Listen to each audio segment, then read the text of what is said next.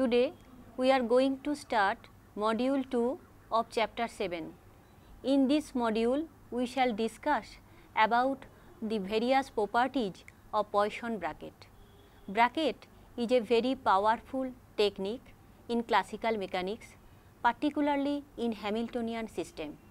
It is a very sophisticated tool and very useful in the mathematical formulation of classical mechanics. So far we have defined two types of brackets Poisson bracket and Lagrangian brackets. Poisson bracket is a special type of relation between a pair of dynamical variables whereas Lagrange bracket is an expression closely related with Poisson bracket.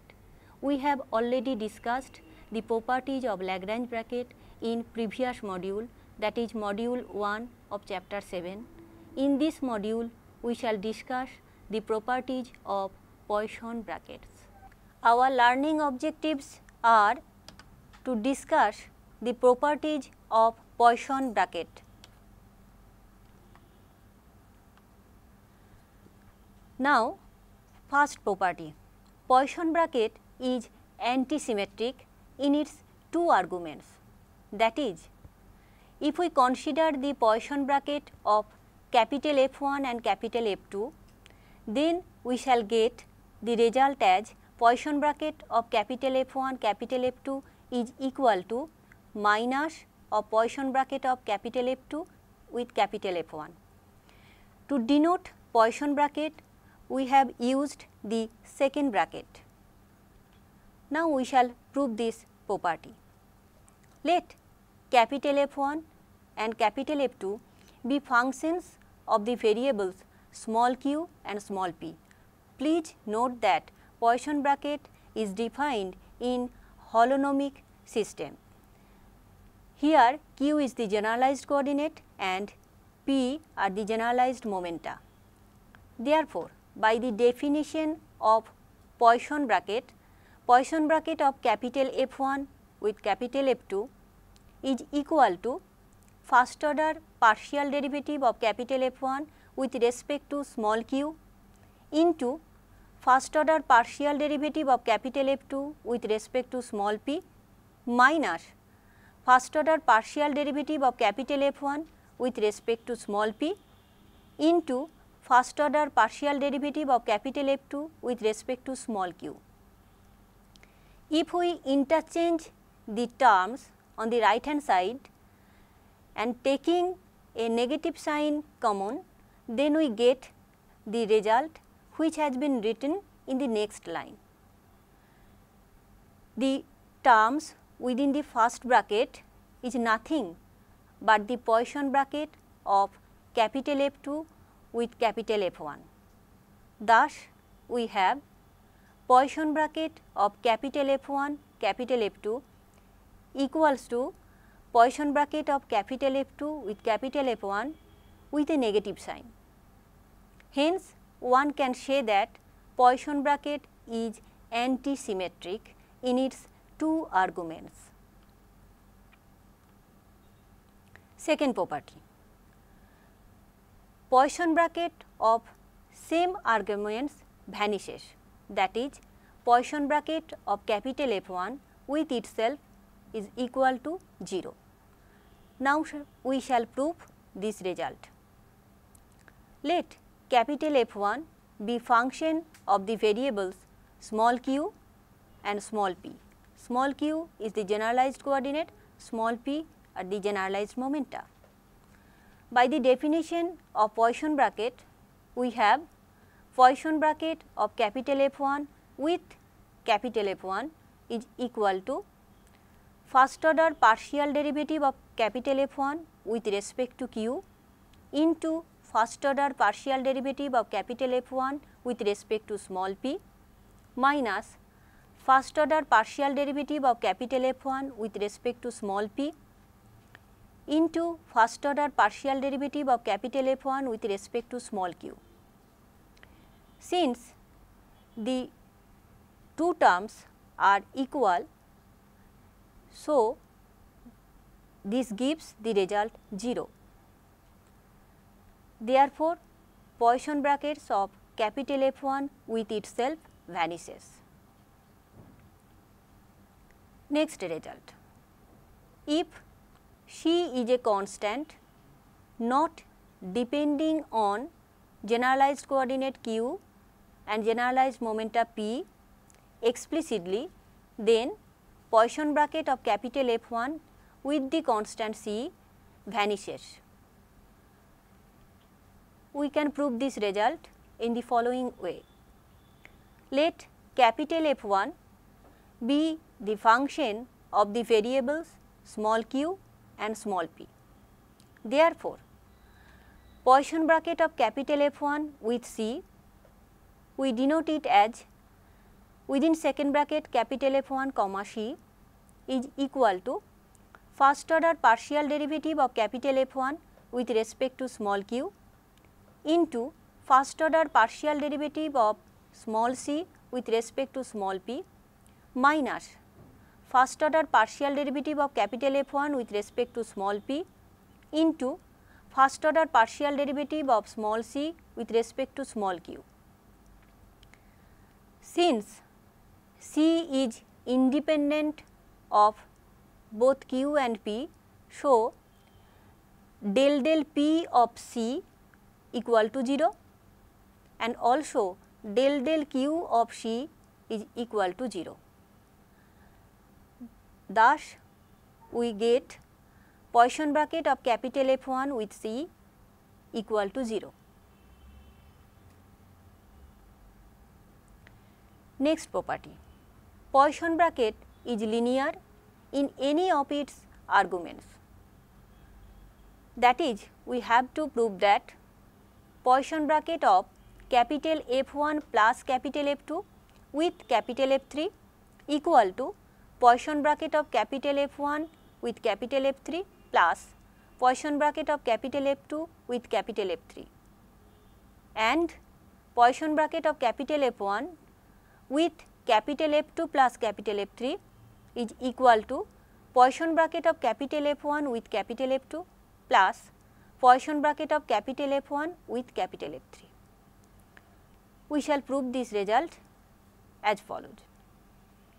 Let capital F1, capital F2, capital F3 be the functions of the variables generalized coordinate q and generalized momenta p. Let us first define the Poisson bracket of capital F1 plus capital F2 with capital F3. By the definition of Poisson bracket, we have Poisson bracket of capital F1 plus capital F2 with capital F3 is equal to first order partial derivative of capital F1 plus capital F2 with respect to small q into first order partial derivative of capital F3 with respect to small p minus first order partial derivative of capital F1 plus capital F2 with respect to small p into first order partial derivative of capital F3 with respect to small q. Please note that here F1 plus F2 has been treated as a single variable और single function if we differentiate F one plus F two with respect to Q we shall get two terms which are first order partial derivative of capital F one with respect to small Q and first order partial derivative of capital F two with respect to small Q after taking the product with the first order partial derivative of capital F3 with respect to small p, we get two terms which has been written in the next line. The first two terms of the next line represent this. Similarly, the first order partial derivative of capital F1 plus capital F2 with respect to small p gives two terms which are first order partial derivative of capital F1 with respect to small p plus first order partial derivative of capital F2 with respect to small p. After taking the product with the first order partial derivative of capital F3 with respect to small q, we get another two terms which have been written in the next line. In the next line, the terms also been arranged. After arranging the terms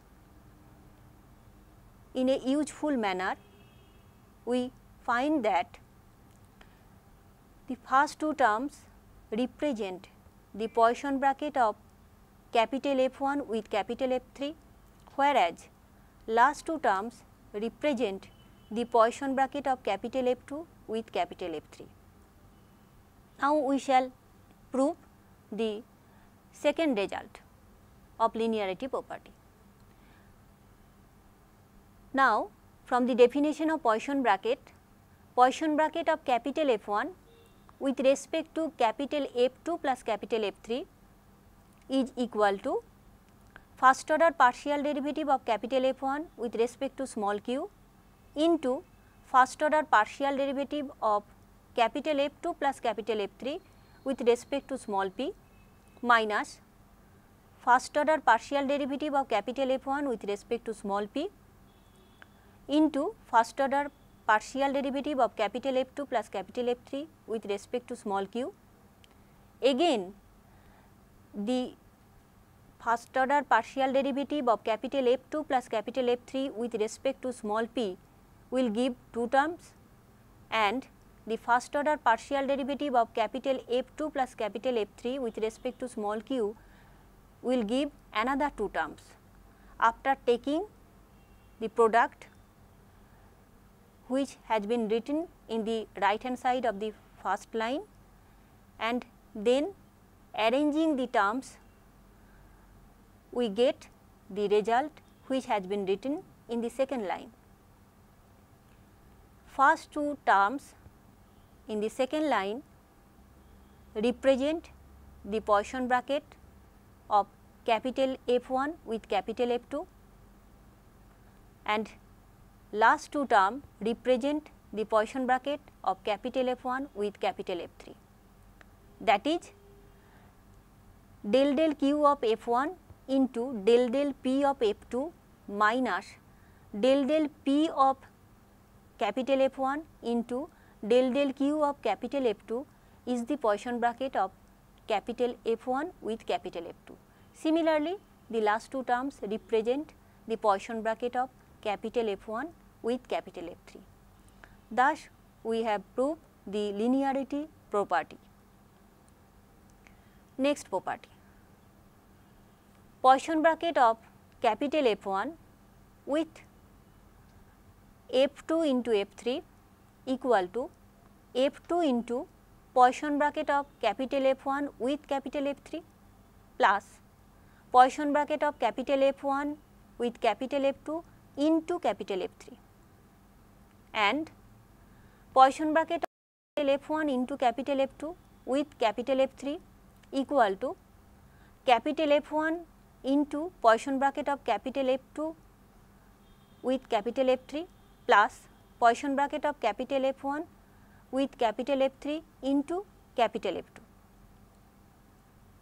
Now, let us prove this result. Let capital F1, capital F2, capital F3 be functions of the variables small q and small p. Now, the Poisson bracket of capital F1 with capital F3 into capital F2 plus Poisson bracket of capital F1 with capital F2 into capital F3 gives the result which has been written in the next line. Here we have just put the result of Poisson bracket of capital F1 with capital F3 within the first bracket in the second line which is del del q of capital F1 into del del p of capital F3 minus del del small p of capital F1 into del del small q of capital F3 and the Poisson bracket of capital F1 with capital F2 gives the first order partial derivative of capital F1 with respect to small q into first order partial derivative of capital F2 with respect to small p minus first order partial derivative of capital F1 with respect to small p into first order partial derivative of capital F2 with respect to small q. This has been written within the first bracket and then into capital F3. After taking the product, all the terms have been written explicitly in the next line.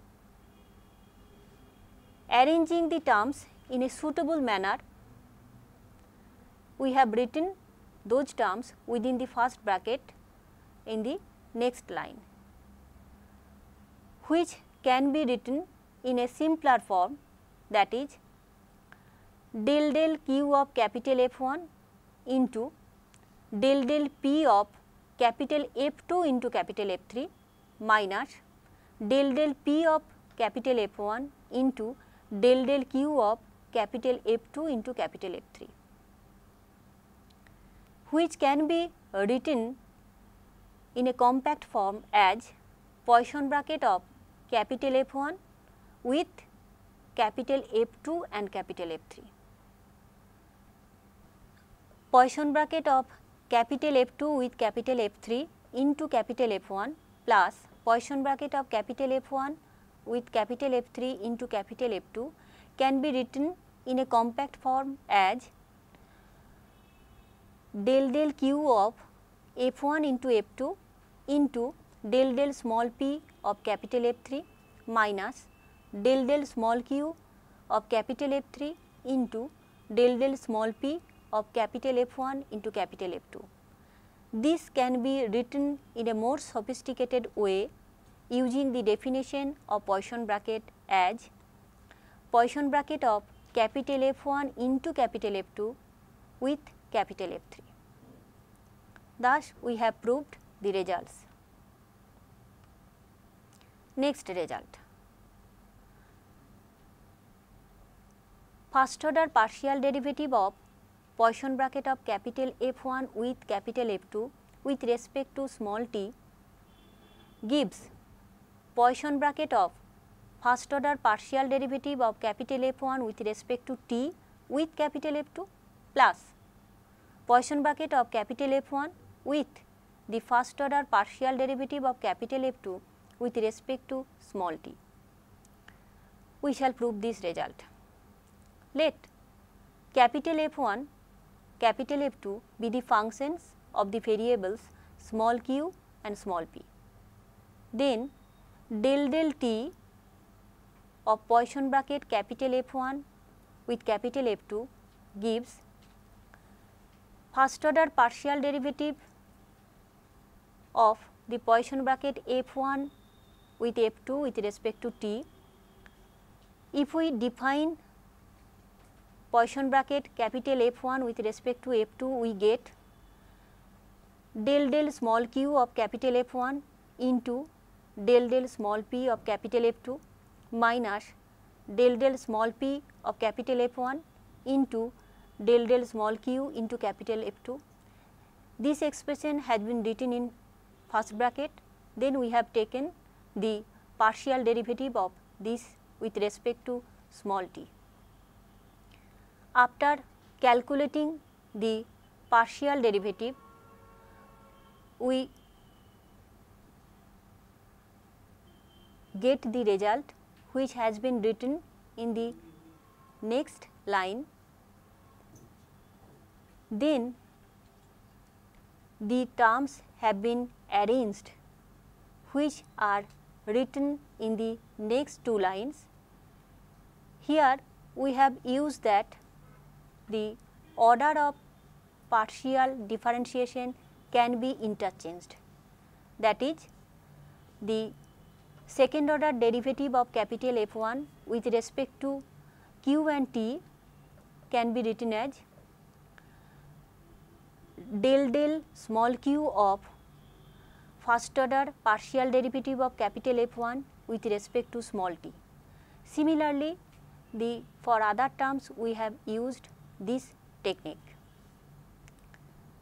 After arranging the terms in a suitable manner, the last line has been written using the definition of Poisson bracket. That is, we finally get first order partial derivative of Poisson bracket capital F1 with capital F2 with respect to small t finally gives Poisson bracket of first order partial derivative of capital F1 with respect to t with capital F2 plus Poisson bracket of capital F1 with the first order partial derivative of capital F2 with respect to small t.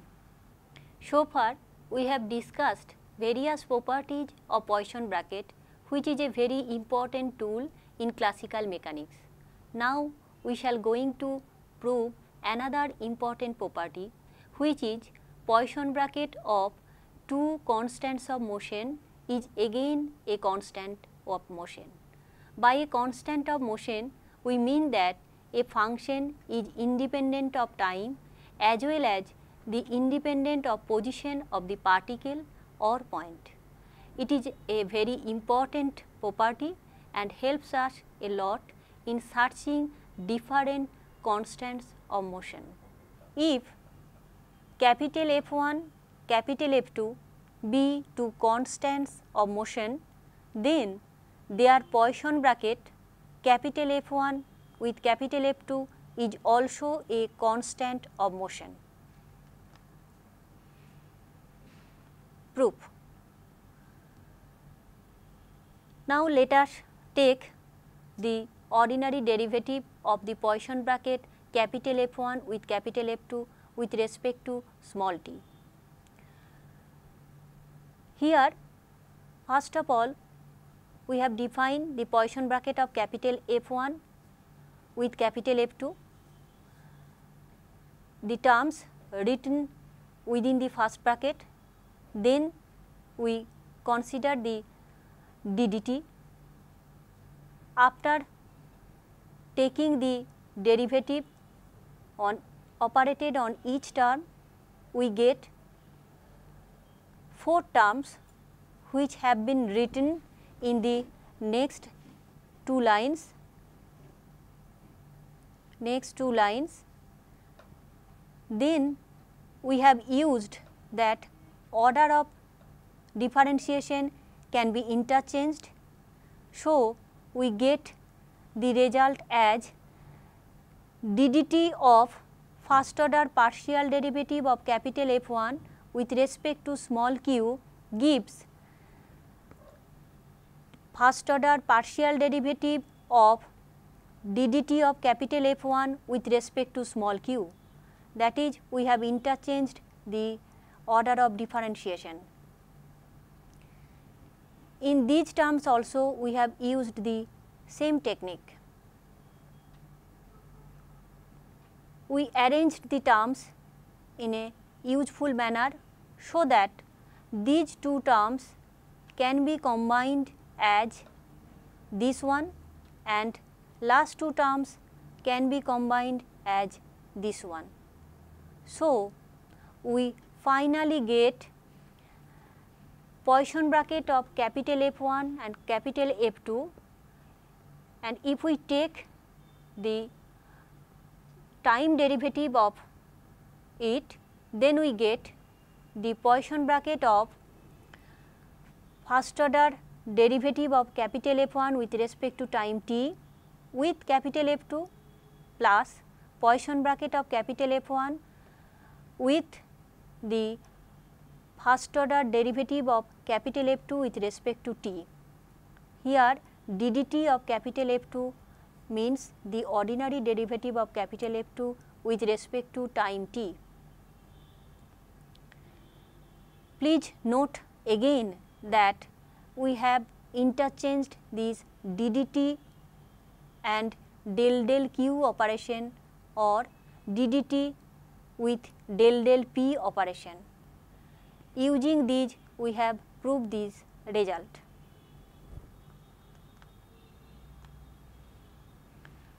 If capital F1 and capital F2 be two constants of motion, then we know that ddt of capital F1 equal to 0 and ddt of capital F2 equal to 0. Since by a constant of motion we mean that F1 and F2 remains invariant under time t that is F1 and F2 will unchanged with respect to time t. Therefore, ddt of Poisson bracket capital F1 with capital F2 vanishes which proves that Poisson bracket of capital F1 with capital F2 is a constant of motion.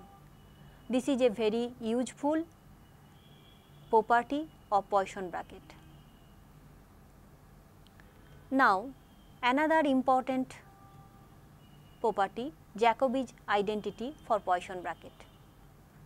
If capital F1, capital F2, capital F3 are functions of small q and small p only, then we have Poisson bracket of capital F1 with the Poisson bracket of capital F2 with capital F3 plus Poisson bracket of capital F3 with the Poisson bracket of capital F1 with capital F2 plus Poisson bracket of capital F2 with the Poisson bracket of capital F3 with capital F1 vanishes. For proof, please go through the course content. Bracket plays an important role in classical mechanics, particularly in Hamiltonian system. We have so far defined Poisson bracket and Lagrange bracket.